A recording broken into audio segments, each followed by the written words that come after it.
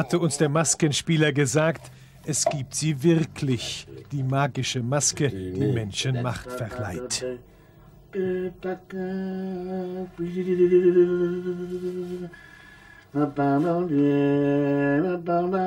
Aber wie wirkt die Maske? Wem nutzt sie? Und vor allem, wo ist sie?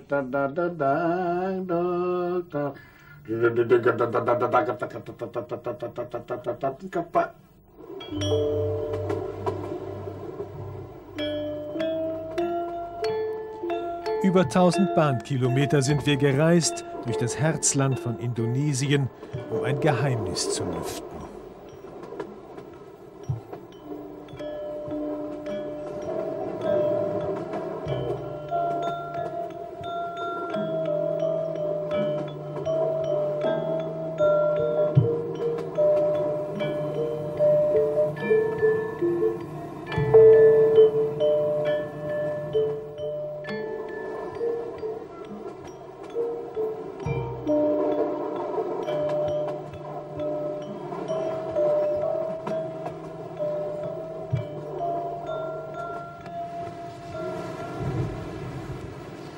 Sonnenaufgang am Krater des Vulkans Bromo in Ostjava.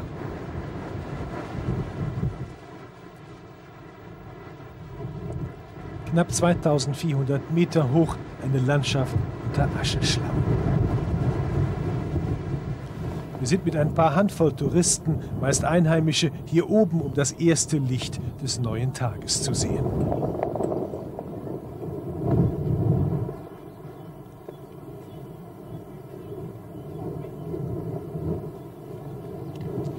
Bromo spielt eine wichtige Rolle in der Sagenwelt von Java.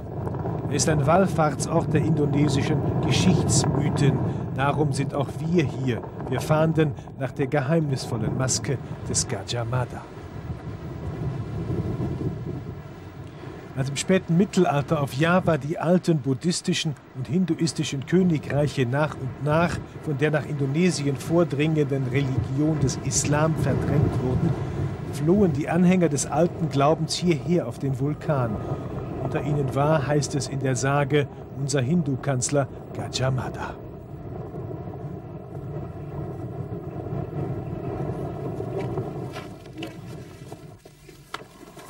Touristen steigen auf zum Abstieg. Der Bergführer und sein Pferd demonstrieren, dass man selbst so nahe am Äquator frieren kann. Pferdchen sind auf diesen Pfaden trittsicherer als die Besucher. Dem Reporter ist der geliehene Anorak ebenso wie das geliehene Reittier entschieden zu klein. Hier ist jetzt zu fragen, wer leidet mehr, das Pferd oder ich?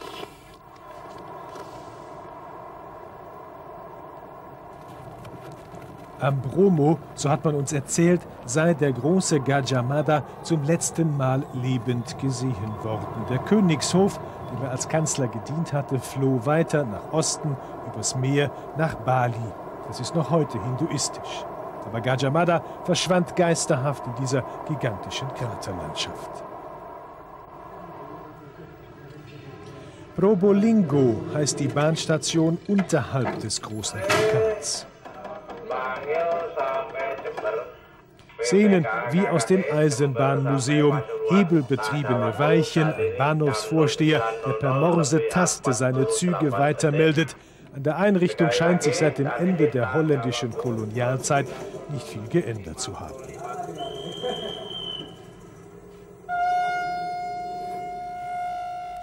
Richtig hektisch geht es hier eher selten zu. Ein Eilzug ist abgefertigt und rollt an und dann passiert etwas.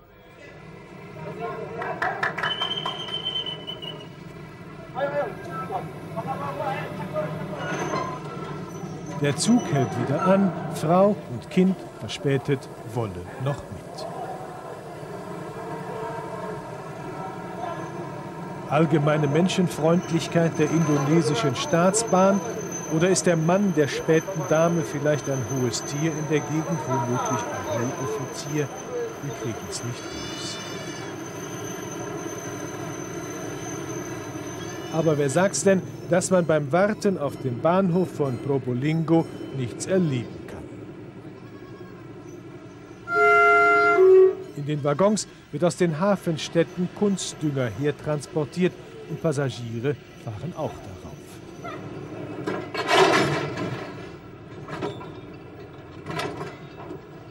Zwar können wir nicht ergründen, warum auf fast allen Bahnanlagen, die wir besuchen, viele Ziegen herumlaufen, aber wir lernen, Reisen bildet, wie die Ziege Pipi macht.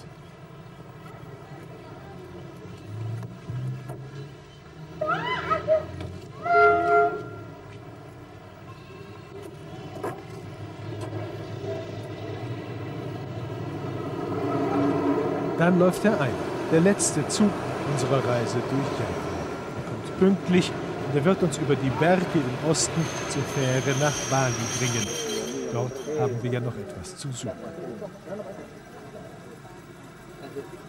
Die Mitreisenden sind auch hier freundlich, die fliegenden Händler hoffen aufs Geschäft. Nasi, Nasi rufen sie, Reis, Reis.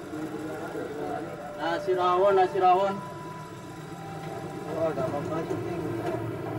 Und dann geht's los.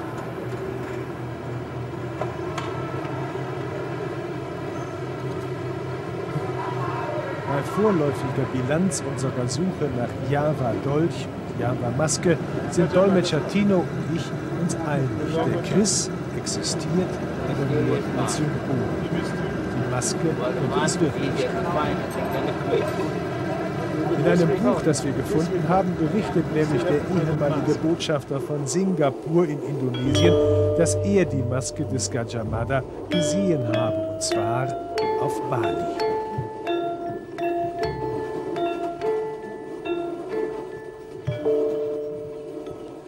Die Reisterrassen von Ostjava stehen denen von Bali kaum nach. Sie sind nur weniger touristisch erschlossen.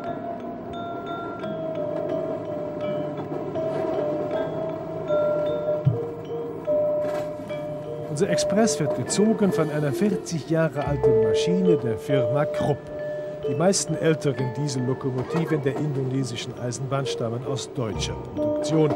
Neuerdings kauft man die Loks von den USA. Die sind, sagt man uns, stärker.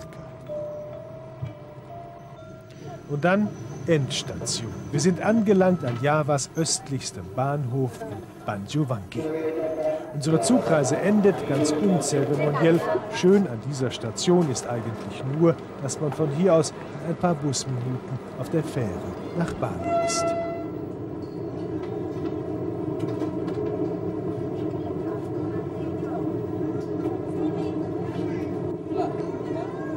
Passagiere sind meist lokale Geschäftsreisende oder einheimische Touristen. Und für die machen die Jungs vom Hafen bisschen Spaß.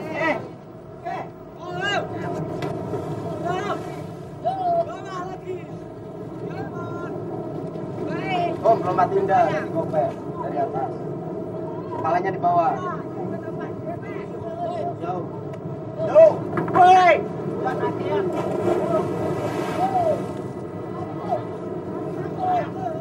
Fahrgäste werfen Geld ins Wasser, danach wird getaucht.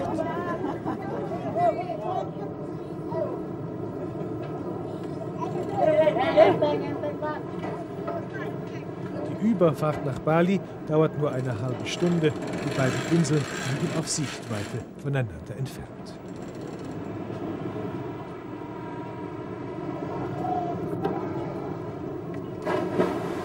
Ein letzter Blick auf Java, das grüne Land unter brodelnden Vulkanen, das Land, in dem sanfte Menschen vergiftete Dolche tragen.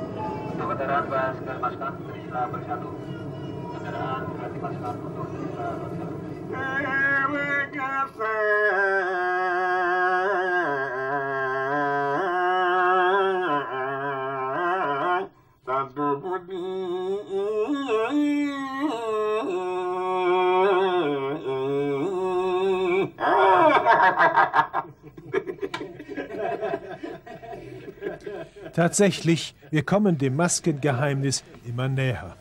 Madesija ist einer der ganz großen Maskensänger und Tänzer von Bali. Er ist schon in der ganzen Welt aufgetreten und in Deutschland. Einer der besten Maskenkenner Indonesiens. Er weiß auf Anhieb, welche Charaktere die Masken darstellen und ob sie künstlerisch etwas taugen. yang lucu yang tidak berbentuk manusia. It doesn't look like human. Tapi mulutnya itu tidak tidak begitu. Ini kan mulut-mulut. Er erzählt uns, dass er die Maske des Gajah Mada mit eigenen Augen gesehen hat, in einem balinesischen Königspalast. Die Maske gehört, sagt er, einem Adeligen hier, dessen Ahnen haben sie einst geschenkt bekommen von einem javanischen Königshaus.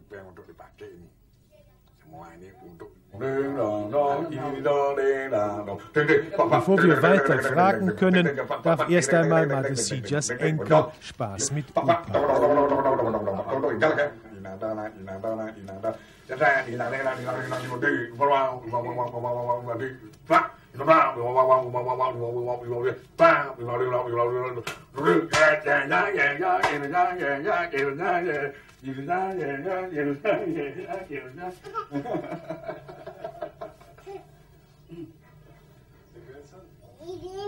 Aber was ist mit der Java-Maske?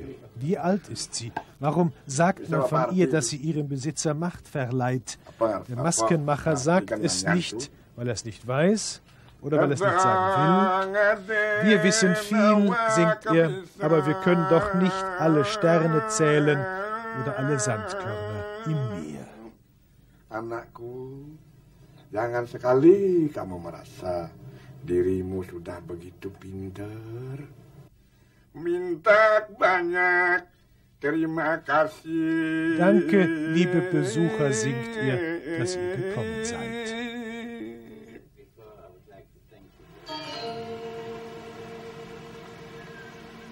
Die Java-Maske ist auf Bali. Wir haben sie also gefunden, oder?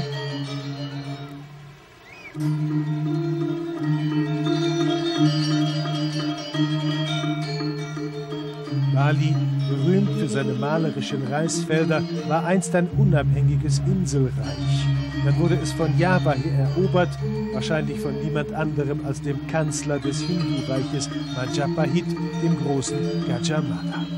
Während fast alle anderen Indonesier Moslems sind, blieb Bali hinduistisch. Wir sind im Haus des hohen Hindu-Priesters Ratu Pedanda Gyanyar. Wie überall auf der Insel werden hier ständig neue Opfer für die vielen Götter und Geister dargebracht.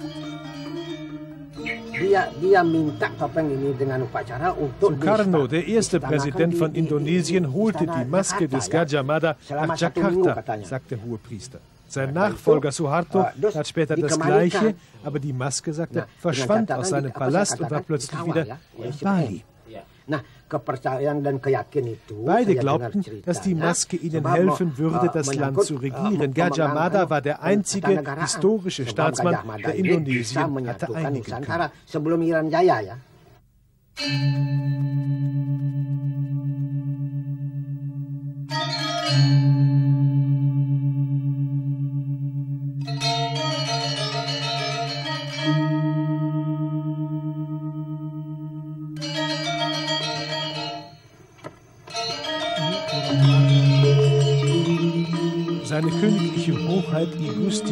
Gurajelantik ist der Erbe der Java-Maske. Er zeigt uns seinen Palast und seinen privaten Tempel. Es gibt viele größere und kleinere Könige auf Bali, die ihre adelige Tradition pflegen. Ja, sagt der König, die Maske ist hier. Manchmal lärmt sie ganz fürchterlich, sagt er. Balidan ada suara tek tek tek keras sekali itu. Sie machte dieses Geräusch, als es masih, 1998 die Unruhen sekali. in Jakarta gab, als Suharto gestürzt wurde. Und sie lächelte, sagt er, als die neue demokratische Regierung gewählt war. Terus saya pindah tidur ke tempat duduk itu. Ja, sagt der König, es ist eine besondere Verantwortung, die Maske zu hüten. Ohne die Hilfe eines Priesters kann ich sie gar nicht anschauen. Vom Anblick bin ich hinterher tagelang erschöpft. Darum dürfen wir nur ein Foto sehen. Die Java-Maske. Großer Mund, ein drittes Auge. Man kann sie nicht filmen und nicht fotografieren, sagt der König. Wo dann das. Bild herkommt, fragen wir nicht. Wer will in mystischen Dingen schon spitzfindig sein? Dan warnanya merah.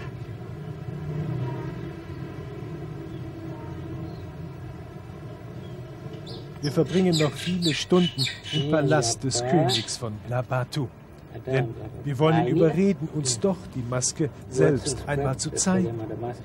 Dolmetscher Tino liest ihm die Beschreibung aus dem Buch des singapurianischen Botschafters vor, der einst die Maske gesehen hatte, hier in diesem Palast. Aber der König will nicht so recht, denn überhaupt, sagt er, geht es nur in einer Iya, großen anu, Zeremonie. Dafür ist jetzt die Zeit.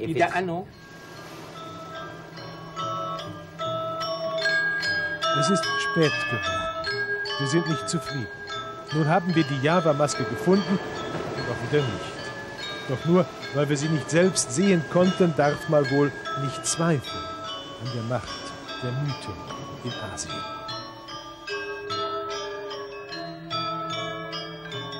Auf dem Heimweg ins Hotel treffen wir zufällig auf ein balinesisches Tanzfest. Keine Veranstaltung für Touristen, sondern eine der vielen religiösen Zeremonien, auf die die balinesischen Dorfgemeinschaften so großen Wert legen. Künstlerische Verfeinerung, stilistische Raffinesse, das sind Wesenszüge der balinesischen Kultur, die lange vor der Ankunft der ersten Touristen etabliert waren. Die balinesischen Königshöfe waren im 18. Jahrhundert heillos zerstritten und sie wetteiferten um stets neuere und feinere Hofrituale. Das wirkt noch immer nach. Im 19. Jahrhundert wurde Bali von Holland erobert in unglaublich blutigen Kolonialkriegen. Dann erst kamen die Touristen und waren von der blühenden Kultur hingerissen. Hier liegt der Ursprung des Image von Bali als spirituelles und künstlerisches Paradies. Fast zwei Jahre nach unserem ersten Besuch beim Besitzer der Java-Maske sind wir noch einmal nach Bali gekommen. Zur Zeit des großen Hindu-Festes Galunga. Tausende strömen zur Festzeit in die Tempel. Tradition und Religion sind mächtige Kräfte hier.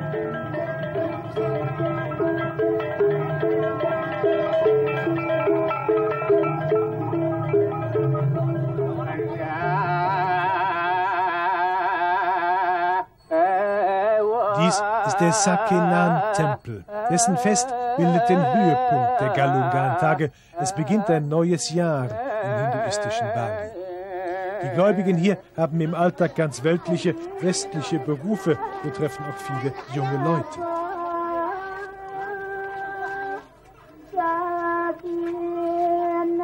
Agama saya dengan kehidupan sehari-hari saya itu jadi agama Ja, mendukung natürlich gehe ich am. Wochenende in die Disco, sagt Religion ist die Stütze meiner Existenz, aber ich führe selbstverständlich ein normales, modernes Leben. Nein, sagt er, ich sehe da keinen Konflikt. jadi setiap hari raya kuning itu Es sind meist Dorfgemeinschaften, die zum Opfern in den Tempel kommen und Puppen mythischer Götterfiguren hereintragen.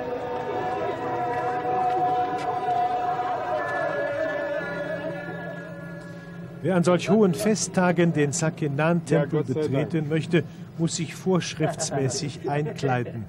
Das gilt auch für den Reporter und das Kamerateam. Der König von Blabatu persönlich passt auf, dass wir alles richtig machen. Zwei Lagen Tuch über die Hüften und am Kopf ein stramm gebundenes, speziell geformtes Tuchband. Ähnliches findet man auch in anderen Teilen Asiens.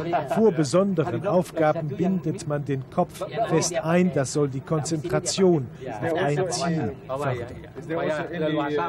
So ist es auch hier gedacht, bestätigt der König. Die Form des Bandes aber, sagt er, ist spezifisch balinesisch. ini biarpun Zusammen mit Dolmetscher Tino gehen wir mit dem König von Labatu zum großen Tempelfest.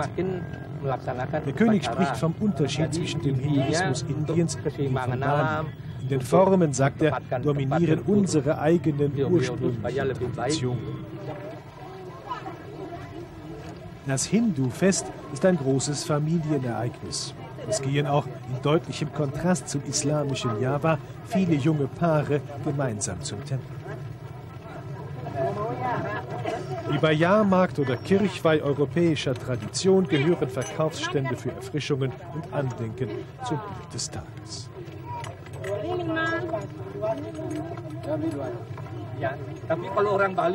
Es gibt einen ganz wesentlichen Unterschied zum Hinduismus in Indien, sagt der König. Wir haben auf Bali zwar Priester und Adelige, aber praktisch kein Kastendienst. Solche Feste, sagt der König, dienen zur Erhaltung der Harmonie in der Welt. Die Zeremonien ehren unsere Vorfahren und die sind Vermittler zwischen Menschen und Göttern. Harmonie in der Welt, sagt der König, bedeutet auch, dass man mit der Natur behutsam umgeht. Der König hätte gern eine Abkürzung ins Innere des Tempels genommen, aber der Einweiser, so viel Demokratie möchte schon sein, verweist ihn in die Warteschlange.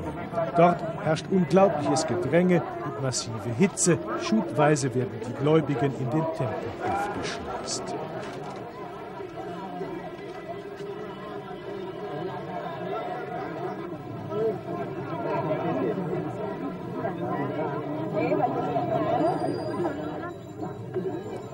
König betet zu seinen Vorfahren, die er für ein paar hundert Jahre zurückverfolgen kann. Sie dienten einst als balinesische Adelige den Königen auf Java.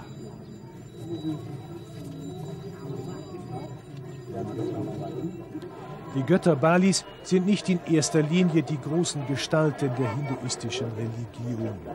Hier betet man zu Ahnen und Geistern und die werden unermüdlich mit Opfern und Geschenken bei Laune gehalten. Als einer der bedeutenden Geister gilt unser Großkanzler Gajamada, dessen Maske wir gesucht haben. Er gilt manchen als Inkarnation des Hindu-Gottes Vishnu. Ein javanischer Politiker des Mittelalters machte also Karriere als Gott auf Bali.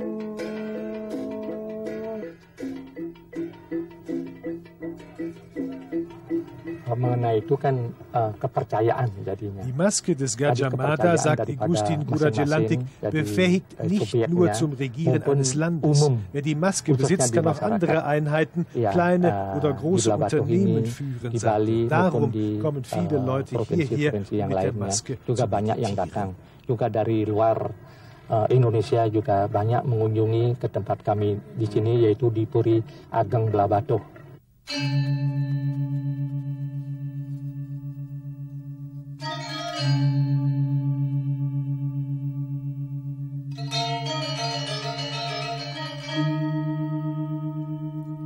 Der König von Blabatu hat sein Zögern aufgegeben. Er wird die Maske zeigen in einer Zeremonie, zu der die anderen Könige von Bali eingeladen sind. Wir dürfen dabei sein. Die ersten Gäste treffen ein. Fast hätten wir ihn nicht erkannt. Unser Maskenspieler, der uns den entscheidenden Tipp zum Finden der Java-Maske gab, ist auch hier.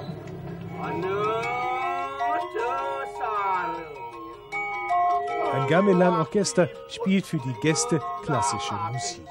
Die Könige haben keine politische Macht mehr auf Bali, aber der Adel besitzt noch großen Einfluss, versteht sich als Kulturvermittler.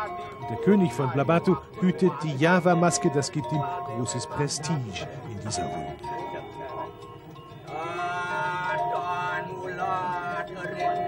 Könige, Königinnen und auch ein prinzliches Geschwisterpaar sind mehr oder weniger gespannt auf das, was kommen wird. Manche der Gäste haben die Maske schon einmal gesehen, viele nicht.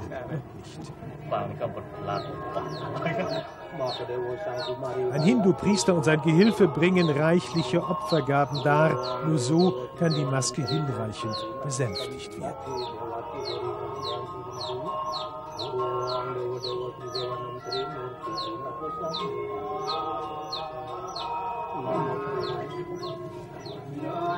dann ist es soweit, die Gäste werden auf die Empore gebeten. Dort oben steht auf dem Altar ein Futteral mit der Maske.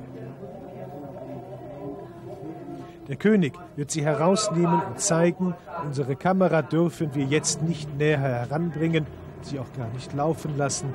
Wir tun es heimlich.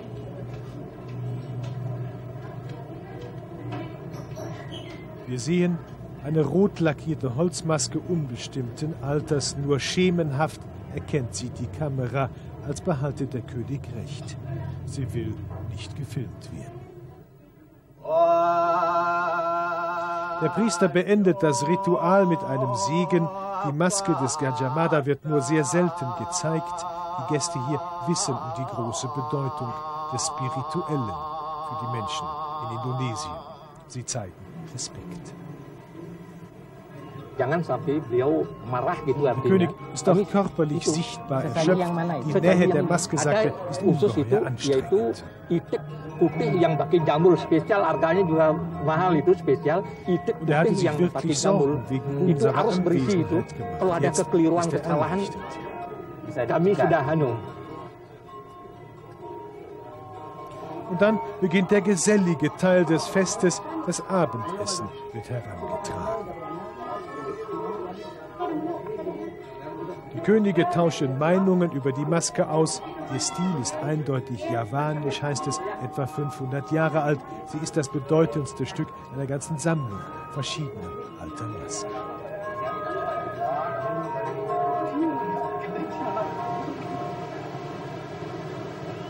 Zur gleichen Zeit am anderen Ende der Insel ein Touristenstrand. Nur wenige Gäste hier kommen in so nahen Kontakt mit der spirituellen Welt von Bali wie wir bei unserer Suche nach dem Geheimnis der Java-Maske.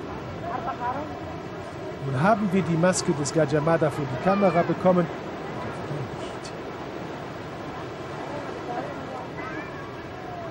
Mancher Ort auf der Insel lässt kaum noch ahnen, welche Rolle mystisches Denken für die Balinesen auch heute spielt. Anders als viele Regionen Indonesiens sagen die Bewohner von Bali, sind wir von Unruhen verschont geblieben, weil sie hier auf unserer Insel ist, die Maske des Gajamada.